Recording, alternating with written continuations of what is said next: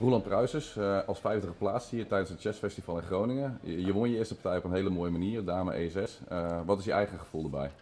Ja, ik zag, ik zag het trucje dame E6 met mat en ik dacht van nou, dit is te leuk om, om hier niet voor te gaan. Dus uh, ik ging ervoor en volgens mij was het ook een van de beste opties dat ik kon doen in die stelling. Dus ja, correct en leuk. Dus, ja, het zag eruit als een best een wilde partij. Had je dat zelf dat gevoel ook of was alles onder controle? Ja, het was heel tweesnijdig, maar ik had, ik had nooit echt het gevoel dat ik de controle kwijt was. Al denk ik wel dat hij op een gegeven moment wel, als hij die truc gezien had, zeg maar, dat dan misschien dat hij dan nog wel kans had om mij uh, het heel moeilijk te maken. Zeg maar. Oké, wat was dan een, een, betere zet geweest op het laatste voor hem in plaats van toren C4? Ja, dat is heel lastig. We kwamen er in de analyse ook niet echt uit. Maar um, ja, toren C4, dat moet dan wel. En na dame, ja, Nee, ik denk eigenlijk dat het daar alweer gedaan is. Na, na lopen G5 was A4 een fout van hem. Ik denk dat hij beter een uh, zet als dames C6 had kunnen proberen of een zet als H6. Zoals je gezegd, je bent hier vijfde geplaatst. Dat houdt ook in dat je een van de kanshebbers bent. Um, je, je, bent hier ook vaak geweest in Groningen. Wat is jouw gevoel bij dit toernooi? Ja, altijd een heel leuk toernooi. Ik, uh, ik kom altijd heel veel bekenden tegen. En uh, ja, ik heb hier ook sinds mijn... Ik heb heel veel normen gescoord hier. Toen ik, toen ik jong was ben ik uitgenodigd voor tienkampen. Toen hebben we in de stad gespeeld.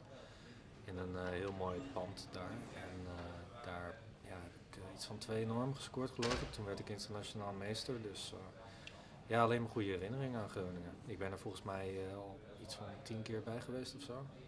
Misschien, nee, waarschijnlijk wat minder. Zeven keer denk ik. Oké. Okay, okay. Gokje. Dus ja, je ziet jezelf ook wel als een van de favorieten. Ik neem ook aan dat je met die ambitie start hier. Ja, je gaat natuurlijk altijd voor de toernooiwinst, maar uh, de focus ligt natuurlijk op de partij zelf. Als je elke partij in, uh, in je hoofd hebt dat je kampioen wil worden, dan, dan, ben je minder gefocust op de partij. Dus. Maar inderdaad, het is wel mijn doel. Ja. Dit uh, Chess Festival sluit natuurlijk een lang seizoen af, ook voor jou. Um, mm -hmm. Hoe kijk je terug naar 2018? Ja, met een dubbel gevoel, want um, ik heb heel veel geschaakt, heel veel toernooien gespeeld.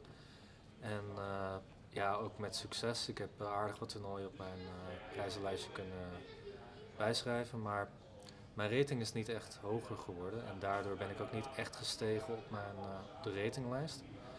Dus het wordt, mijn ambitie is nog steeds om een keer Nederlands kampioen te worden. En dat, dat is heel lastig natuurlijk met de concurrentie. Maar ja, het is, het is een heel leuk doel om dat na te streven. En, maar dan moet je wel eerst uitgenodigd worden voor het NK. En dan moet de rating wat hoger liggen. Dus de rating is nu nog niet helemaal wat ik zou willen. Dan kun je hier aan werken in Groningen. Ja, nou ja, laten we het hopen. okay. Vorig jaar ging niet zo goed. Dus, uh. Goed.